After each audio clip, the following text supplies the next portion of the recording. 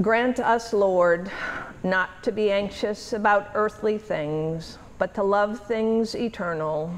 And even now, while we are placed among things that are passing away, to hold fast to those that shall endure. Amen.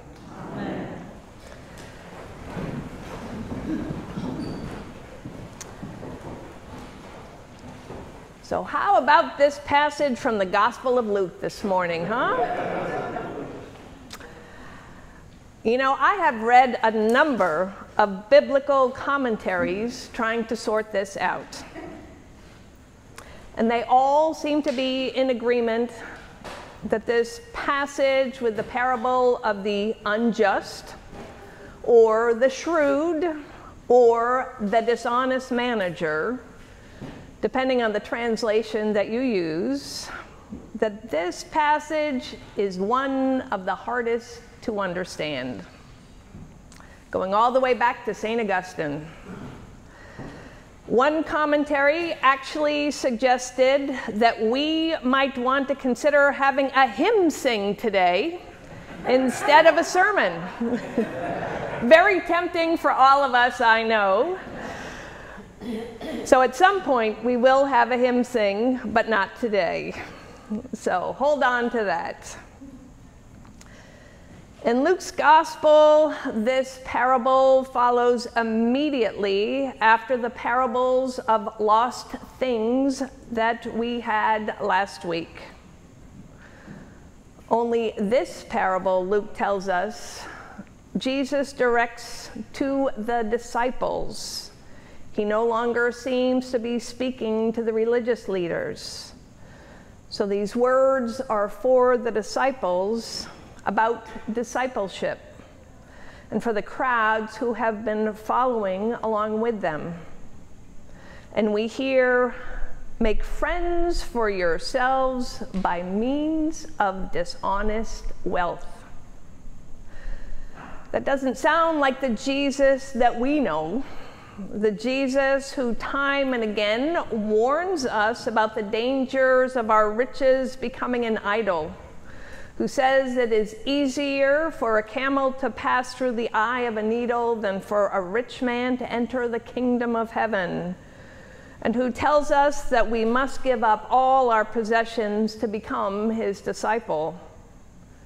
And just a few verses after this strange advice, he warns us that no slave can serve two masters, that we cannot serve both God and wealth. So, why then does Jesus tell us to make friends for ourselves by means of dishonest wealth?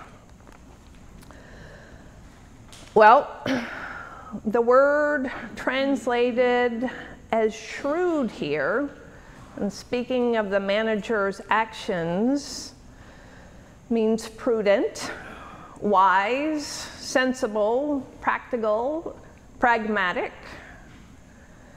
And the manager, acting shrewdly, takes on a role that is fairly common in literature and more common in the Bible than we might think. He's a trickster a trickster who often seems to be at a disadvantage, but who is savvy and clever. And those qualities can prove to be more valuable at times than other assets, helping the trickster to triumph over the person who seemed to be the sure bet. We can think of David and Goliath, David beats Goliath because David cleverly figures out how to use his resources to his advantage. Or Jacob and Rebekah, who are tricksters who deceive Isaac to get Esau's birthright from him. And in such stories, the hero is one who is clever and again uses that to take a hold of blessings, to ensure a good future, and even to take away some power from those who seem to be in charge. they are not quite models of moral behavior. But clearly, the scriptures have a place for these figures.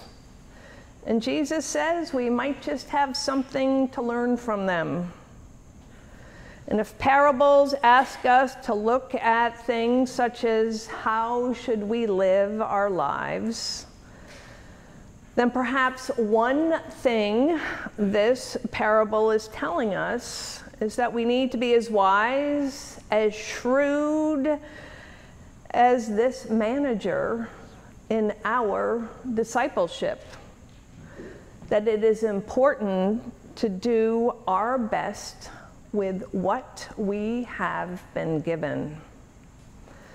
And perhaps this strange parable is also telling us that we need to be smarter, smarter when it comes to confronting the powers that be in this world.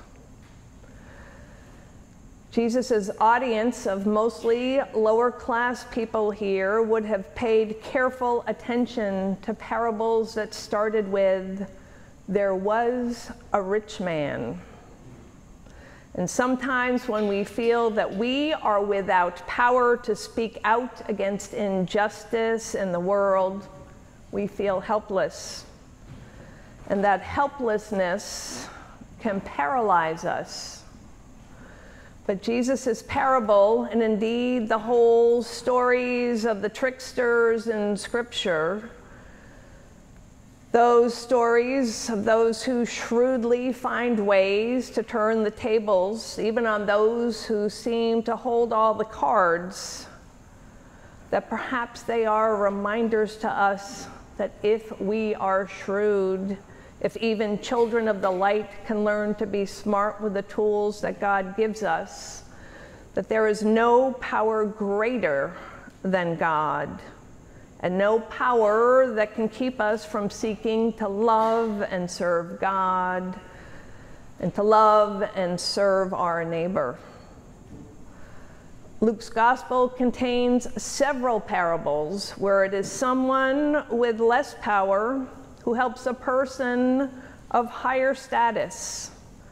It is the person who appears to have less power who actually provides a path forward. And another mark of the parables in Luke's gospel is reversals. Reversals. That they are, that it is those who are last, who shall be first, and those who are highly exalted, who shall be humbled. And it is the humble and meek who shall be exalted. And we may just find that it is those whom we thought of as below us, those that we thought of as the ones with less power that those people are the ones who actually show us the glimpses of God's kingdom here in this life, that we have something to learn. It is easy to get stuck on the aspect of dishonesty in the manager's collections, but maybe that's just the point. Not that we are to be dishonest, but that in spite of it all, through his shrewd actions, when he thought that he had lost it all, that even he can help to bring forgiveness and new life in building up the community and building up the kingdom of God although our true riches can only be found in that place where no thief can draw near and no moth destroys, what we do with the resources that we have in this life, at this time, in this place, what we do with all of this matters. By God's grace, may we be such shrewd and wise agents in using whatever we have wherever we find ourselves, to bring new life and balance to our relationships and our communities, and helping to build up the kingdom of God. And I want to give a shout out here to George, to Yana, to Kate, and Michael for their lyrics for our very special postlude today. Y'all just have to hold on to your hats for that. I'm not going to give anything else away beyond that, other than saying that in looking at the lyrics, I keep coming back to the line How do you measure these years at St. Mark's? And again, I won't spoil anything. We will all just have to listen.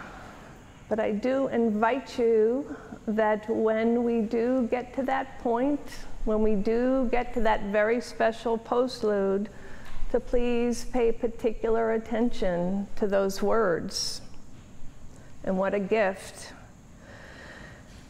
And as we are reminded by this parable, what we do with the resources we have in this life at this time and this place matters. And how do you measure these years at St. Mark's? And thank you, George. In our conversations leading up to this Sunday, and in looking at this special piece for our postlude, George had shared with me some notes of wisdom that he had jotted down from a commencement speech. Is that correct? That you had heard some years ago. And so, uh, George, with your permission, I know I'm kind of putting you on the spot here, but I'd like to just share a few of those jotted notes. because they were just so striking to me at this time in this place as we gather here. And again, with this parable, how do you measure a life? Do you measure it by yesterday or today? Do you measure it by what others have and do, or what you do not have, or do? Do you measure by what you do or who you are? How do you measure your life? By the dreams imagined or the hopes dashed? By the wisdom of wise words or by the sorrow of silence? By the wealth accumulated or by the amount spent, by defeat or by victory, large and small? Do you measure it by the forgotten or the remembered? By all the near misses and exhaustion, or by the ability to endure? By the friends and family gathered around you, by the support you are offered. How do you measure a life? By God's grace, may we be shrewd and wise and loving in using whatever we have wherever we find ourselves.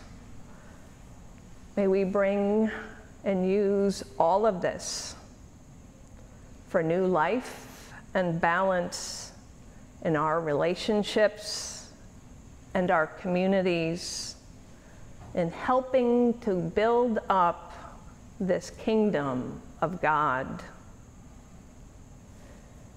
in life beyond all measure. Amen. Amen.